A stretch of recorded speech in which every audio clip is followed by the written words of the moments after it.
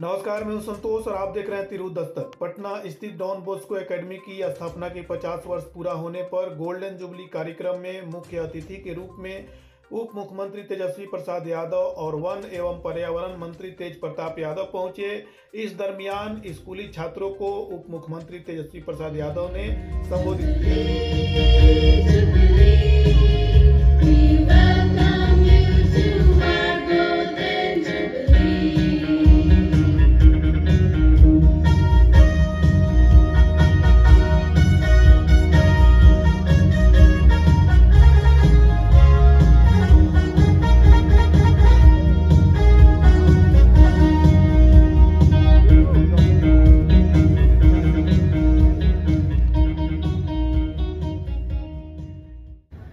Teachers are the foundation of societies because their trade is the lifeblood of humanity.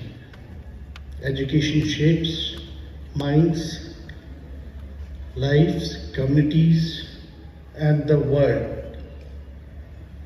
The most beautiful and powerful thing about learning is that no one can take it away from you. Education is the most powerful weapon which you can use to change the world.